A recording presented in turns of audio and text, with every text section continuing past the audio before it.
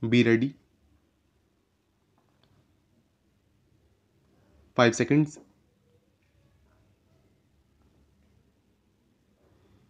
Start.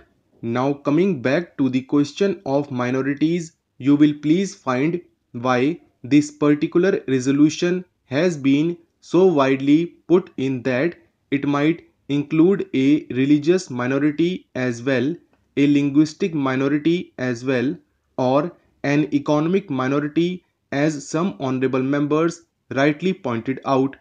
Now, sir, a question arises whether there ought to be any such protection insofar as a particular type of minority is concerned. I shall deal with the question of minorities at some length.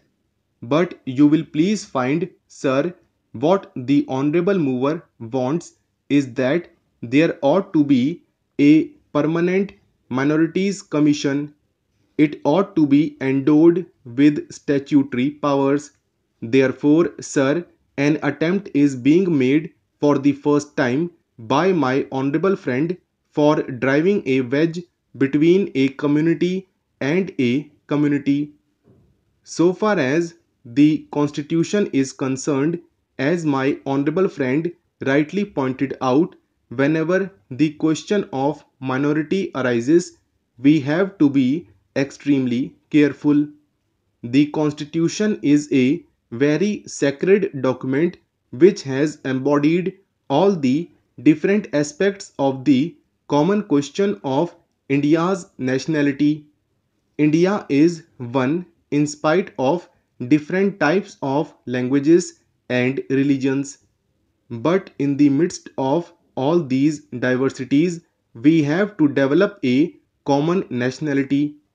Therefore, whenever we consider the question of the development of the nation and the interest of the nation, you cannot afford to think in terms either of religion or of language. It is true, sir, that there are different religions. It is also true that there are different languages. Therefore, a question arose and the framers of the constitution had to devise a constitution in the midst of the unity of India with certain diversities here and there. For that purpose, what they did was they devised a common nationality for the whole of India and in so far as religious minorities were concerned, they were given certain rights. I would not go into the details regarding the provisions of the fundamental rights regarding the practice of religion. Certain rights have been given to the religious minorities and beyond that it would not be proper to bring in the religious minorities for political rights. For that we have to be extremely careful. I would also point out that while we have to develop a common nationality, the members of the Indian nation have to understand that we are one nation. Therefore, certain rights in respect of religious minorities were given. They were fundamental rights and most of them are justiciable rights.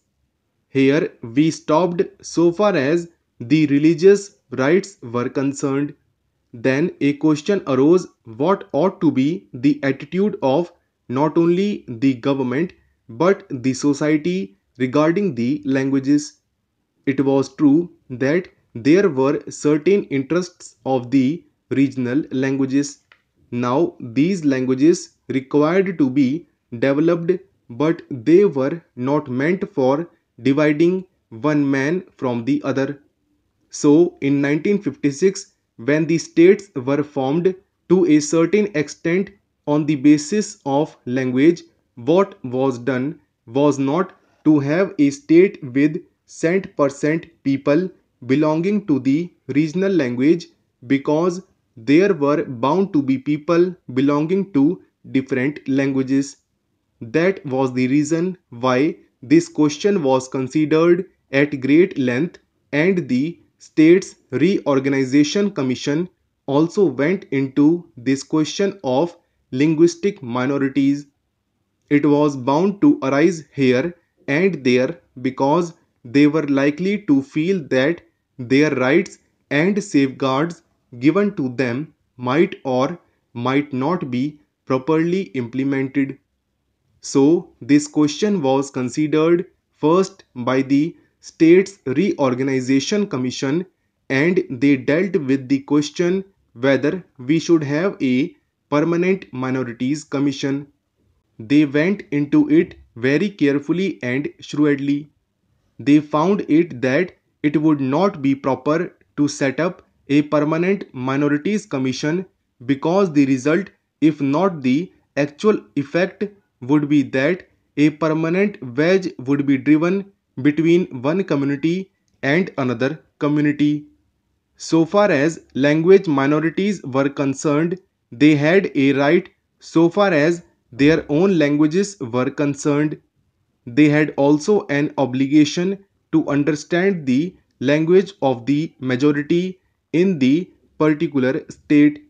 It is only by thus coming together that the members of the two language groups would come together and would harmoniously develop but it was found at the time when the States Reorganization Commission had to consider this that some machinery should be devised for safeguarding the rights of linguistic minorities only and after full consideration. What was conceded was that only in respect of linguistic minorities certain rights should be extended and certain rights should be safeguarded and an officer should be appointed by the president for making a report on the question whether these rights of the linguistic minorities are or are not properly safeguarded.